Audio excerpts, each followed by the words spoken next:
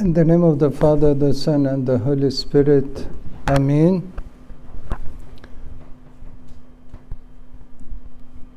We read in the evening raisings of incense and Ashaya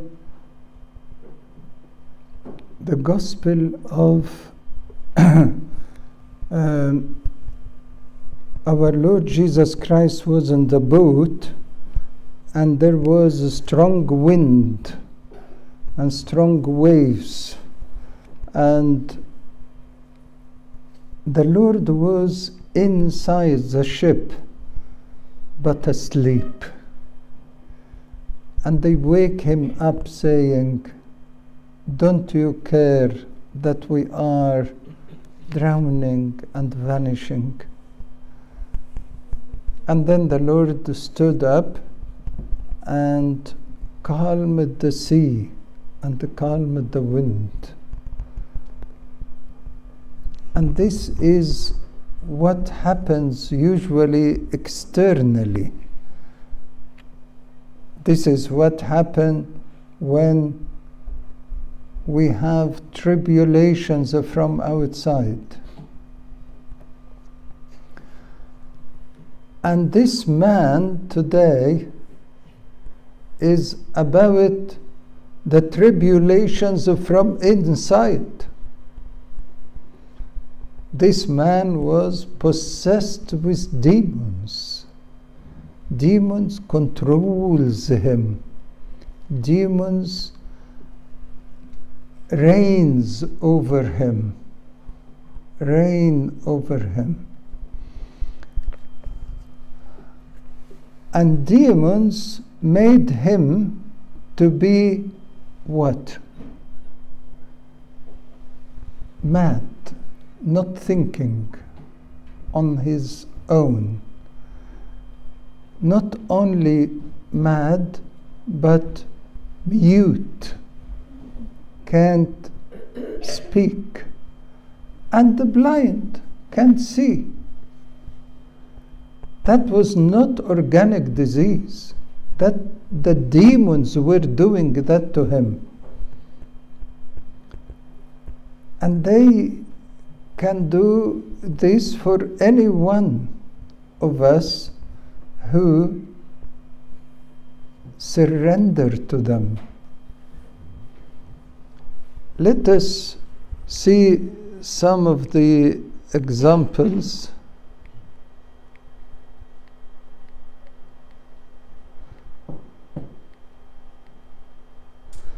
Nebuchadnezzar. You know Nebuchadnezzar? Nebuchadnezzar is a great king. He looked at Babylon, the great city, and said, Isn't it the city that I have built by my own power and for my own glory? When he said so, the Lord said to him, Give him one year to repent, and he didn't repent. But then Satan struck him. He made him like animals, not thinking. He took out of him his wisdom, his mind, and they kicked him out of the palace for seven years till what the Bible tells us he looked up to heaven. When Nebuchadnezzar looked up to heaven, his senses came back to him. And he became wise again. And he came back to his palace and became the king again.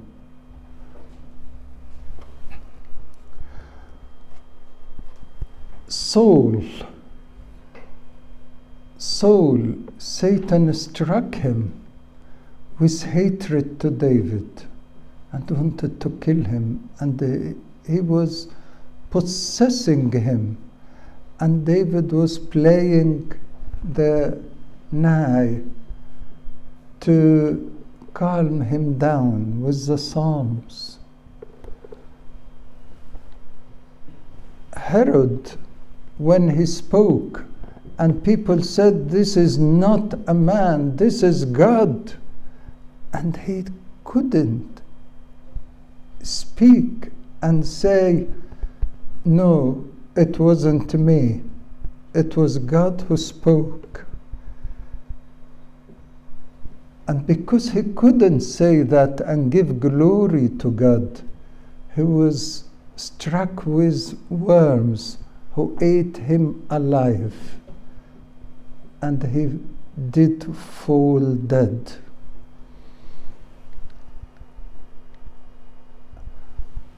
Samson, the great Nazarite man, he was very strong, got the grace of God in him, but temptation of the world in Delilah made him to forget his God. He was not seeing he was not seeing that he left Jerusalem, the city of God, and lived for his own pleasure in Gaza.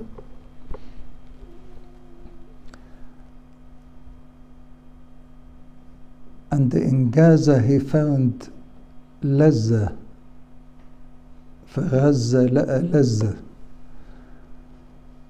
and that is why he left Jerusalem and stayed there till Satan blinded him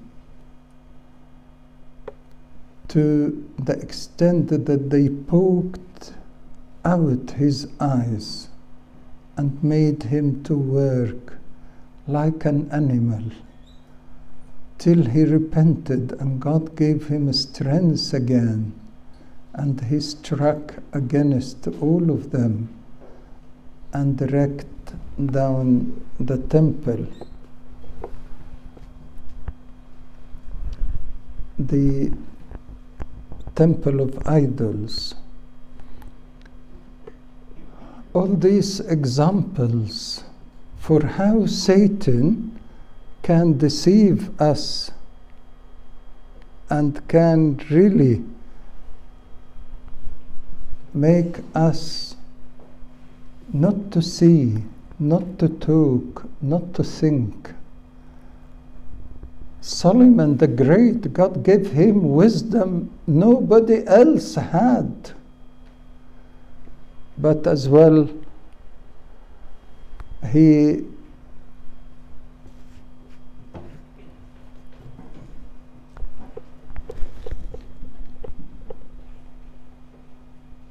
lost it because he was led by other women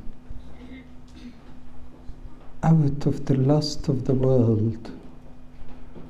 And that is, that is very fearing, very frightening to all of us. No one is immune. No one is immune. Great men Satan defeated them. But thank God that He gives us the chance of repentance and the chance to come back to Him. Like Solomon the Great, he drifted away, but at the end he came back with greater grace and great power to write even the ecclesiastic book, which is of benefit for all of us. Anyway, they brought that man to the Lord. And once they brought him to the Lord, the Lord casted out the demons from him by a great authority and power. And immediately the man started to be wise, to think, to see the Lord and to confess Him and to speak. Immediate. How long a medical doctor would treat someone like that to be back to normal? Examination, investigations, take treatment for three months, six months, one year. But for the Lord, immediate healing. No time. In no time. And that is why the Lord has come. When the Pharisees saw the Lord have done so, they started to wonder is he the son of David? Is he the Messiah? And in spite of seeing what happened, in spite of seeing that the Lord, by authority and power, have casted out the demons, they said, What? He is doing that by Beelzebul, by Satan. Why do you think the Pharisees don't want to admit that he is a Messiah? He is a Savior. Why? Why? Because they don't want to leave what they were doing.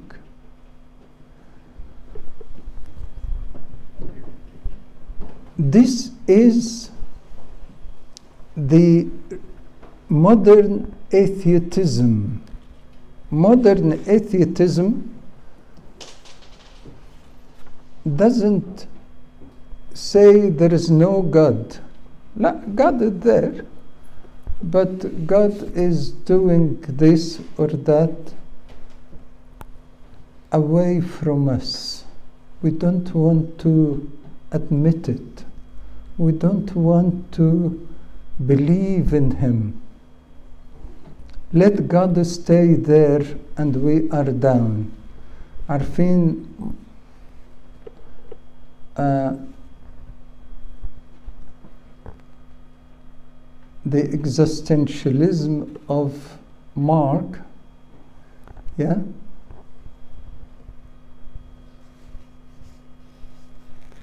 He was a Christian, and his atheism started by when he was smoking and his parents were rebuking him. He didn't want to keep, them rebuking him. He stopped in front of them and he was smoking behind their back. And when one day they left home for a, trip, he relaxed at home and started to smoke. And when he started to smoke, he fell asleep and the cigarette fell on the rag and started to burn it. He woke up and wanted to hide what he has done. He went into the bathroom to burn the rag and felt that God is looking at him. And he looked at God and said, I can't burn it because you are looking at me. Don't look at me, please. And when he said, Please, Lord, don't look at me, he felt comfortable to burn the rag. And he burned it. And he came with his theory Our Father who art in heaven, stay there. Let your name be glorified among your angels, but don't interfere in my life. Don't, don't, don't look at me. Because when you look at me, I'm embarrassed. I am ashamed. Don't, please. And the Pharisees are in the same way. They don't want the Lord to save them because they want to carry on with their own sins. Do you really see the Lord and you open your heart for Him to repent and change your life? Or do you stand before the Lord, seeing the Lord doing miracles in front of you in the life of others? And you are away from Him?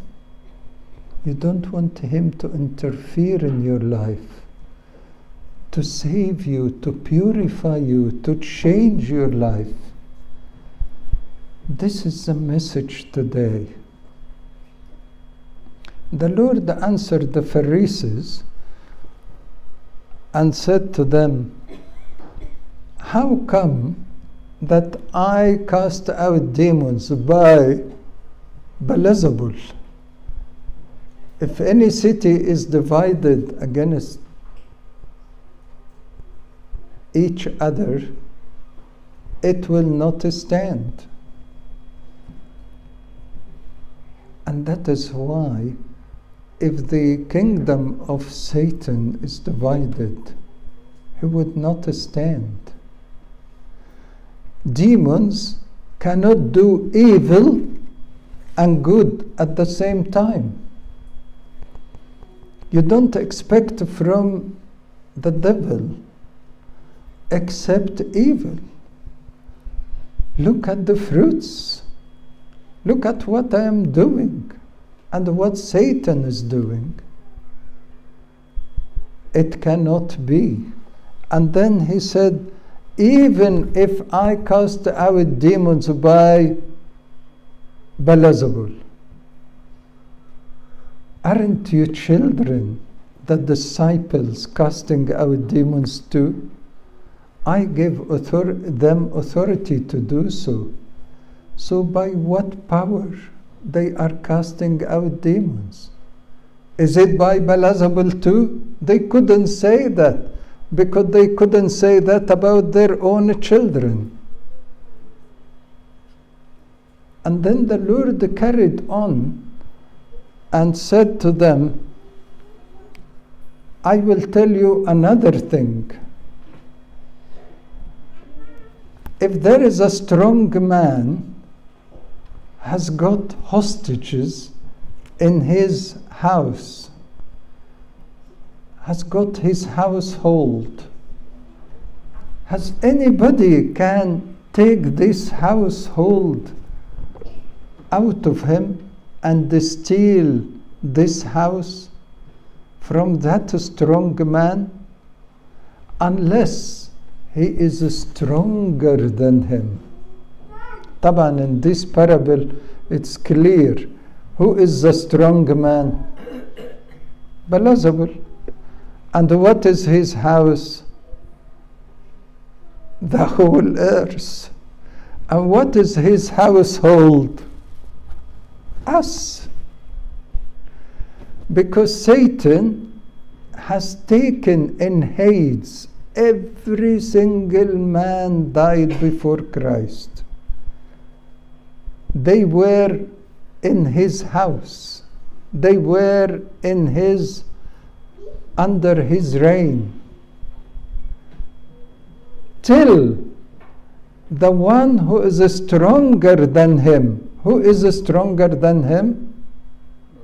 The Lord, who came and confiscated his house. He opened the gates of Hades and got everyone out. And the same Christ is for every one of us to free us from the authority of Satan. And that is why he is saying to them, I cannot do that. I cannot save this blind, mute, and demon possessed man unless I am stronger than Satan. Unless that Satan can't stand before me. And then look at what he said after that, he said, Whoever is not with me, he is against me. Whoever is not with me, he is against me. The Lord wanted to say to them, Is Satan with me? Is Satan doing all this goodness? He is not with me, so he is against me. As simple as that. And the last thing, look at the fruits. Would the good tree give good fruits or bad fruits? And the bad tree would give good fruits or bad fruits? You see, you judge the people or you judge the person with the fruits. Am I doing evil or good? Am I saving these sick people and healing them? Or actually, the reason for their sickness. Satan was the reason of that man to be possessed, blind, mute, living in the tombs, under no control. The Bible tells us they were chaining him and uh, he was breaking the chains. Satan was the reason for that. But I am the reason for what? For his healing, for his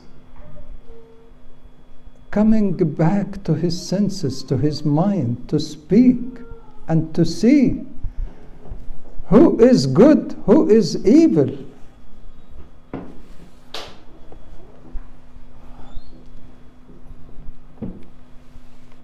And then the last the last thing he said, whoever blaspheme against the Son of Man, it will be forgiven for him. But whoever blasphemes against the Spirit of God, it will not be forgiven, neither here nor in heaven. What is blaspheming against the Holy Spirit? The Lord wanted to say to the Pharisees, You have seen the Son of Man, you have seen the Son of God, and you have seen me doing miracles, and yet you don't believe. This is resisting the Holy Spirit. The Holy Spirit is opening your eyes to see me saving you and helping you, curing you, glorified in your life, and yet you don't want to believe. Resisting the Holy Spirit continuously like that is a blaspheming against the Holy Spirit. What is it in our life then? that was about the Pharisees. In our lives, in our lives, if we see the Lord being glorified in our lives and seeing the Lord working day and night, keeping us alive, giving us what we need, supporting us and helping us in every way, at least leaving us alive, at least giving us age and time on earth. And then we don't want to listen to Him. And we don't want to repent. And we don't want to change our lives and leave Him to change us, then we are blaspheming against the Holy Spirit. If we stay resisting the Holy Spirit, if we stay quenching the Holy Spirit, if we stay grieving the Holy Spirit till we leave this world, then it is a blaspheming against the Holy Spirit and it would not be forgiven for us. I hope, I hope, I hope that we all, we all, when we see the Lord is glorified, to glorify Him and to ask Him to be glorified in our lives, to change us, and to make us like this man, wise again, seeing again, talking in his, with his glory, and to glorify him and praise him again.